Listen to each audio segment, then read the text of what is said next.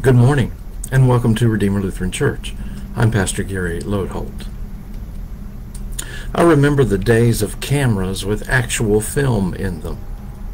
In those days, if you wanted to take a picture, you had to be judicious in what you took because the number of pictures you could take was limited, and you most likely had a fixed lens so that what you saw was the picture you took. Nowadays, most or many of us have smartphones that take digital pictures so we can snap away to our heart's content, casually throw away the ones we don't like, and keep the best.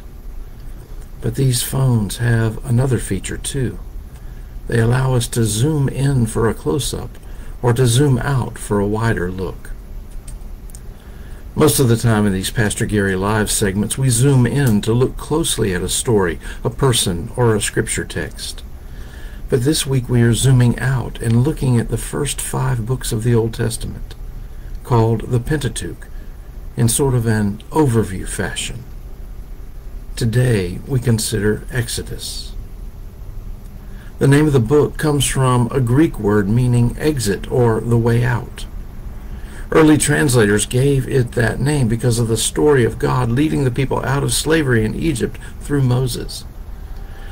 What we may not have known before is that the Hebrew title of this book means, These are the names.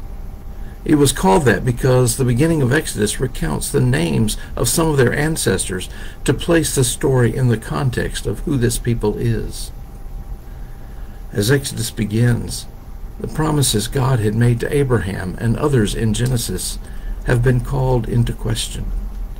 They are living as slaves in Egypt, and the future God has promised them seems far removed from what they are experiencing. God hears the people crying out for help, and so God raises up Moses to lead them to freedom.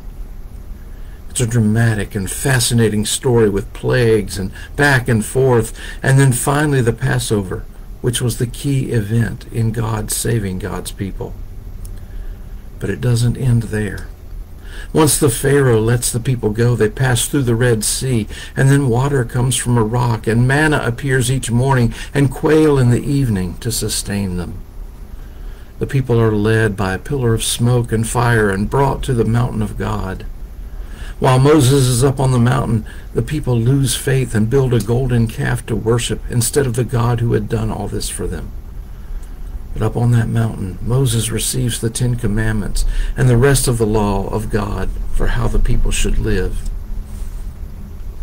One of the really interesting things in the story is how often God or Moses gets fed up with the people.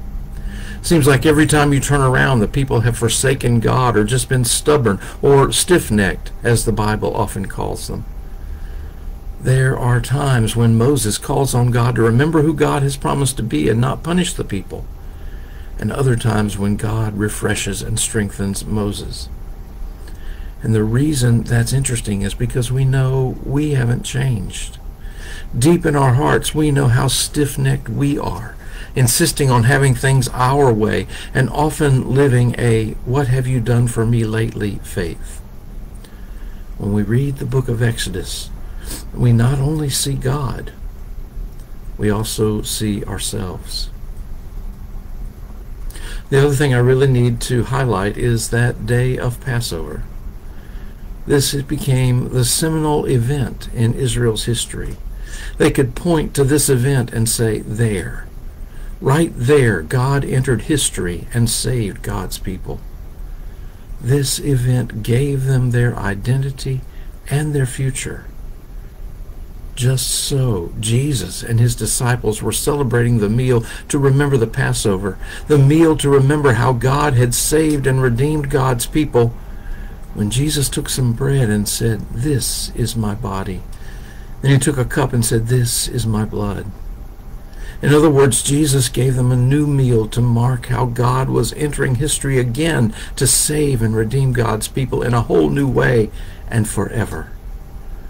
We continue to remember and renew that salvation meal over and over. In that meal, we find our identity and our future. Thanks for watching, and remember to let this day belong to God.